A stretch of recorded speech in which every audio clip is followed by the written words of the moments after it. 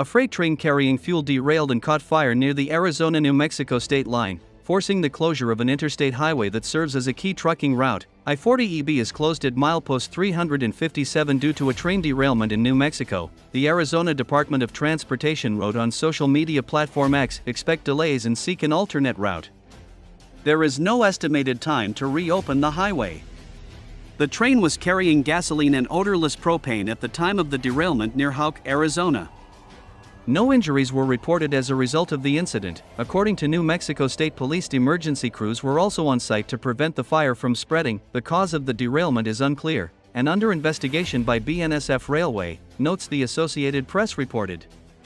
Nearby residences and a truck stop were evacuated as a precaution as winds carried away thick smoke and local firefighting crews responded. The derailment also led Amtrak to cancel some passenger travel, including on the route between Los Angeles and Albuquerque, New Mexico.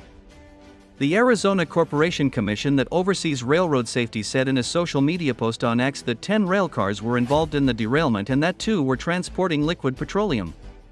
The agency said it planned to send a railroad inspector to the site but later learned the derailment happened on the New Mexico side of the tracks.